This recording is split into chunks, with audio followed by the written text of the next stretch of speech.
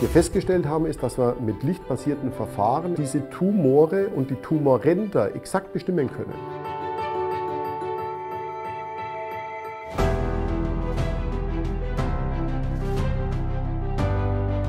Dafür brauche ich natürlich Verfahren, die nicht mehr einfach mit Objektiven, mit starren Optiken funktionieren, sondern da brauchen wir natürlich dann im Endeffekt flexible Endoskope und da kommt natürlich das Thema der Glasfasern dann rein.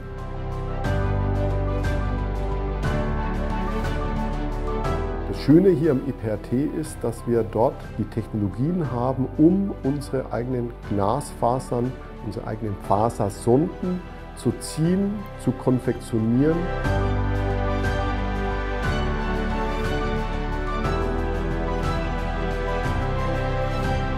Unsere Vision und damit natürlich auch die Faszination, die sich hinter dem ganzen Thema verbirgt, ist, dass wir zukünftig mit Licht frühzeitig Tumore erkennen können. Wir können festlegen, wo der Tumorrand ist und die eigentliche Vision ist, dass wir dann noch Licht hernehmen, um den Tumor gleich zu entfernen.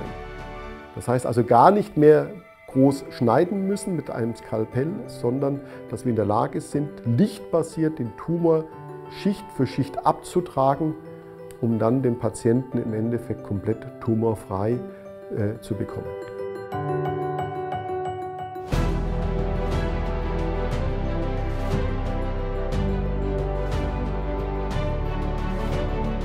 Das wäre ein Riesenschritt in eine ganz neue äh, Tumordiagnostik, aber auch Tumortherapie.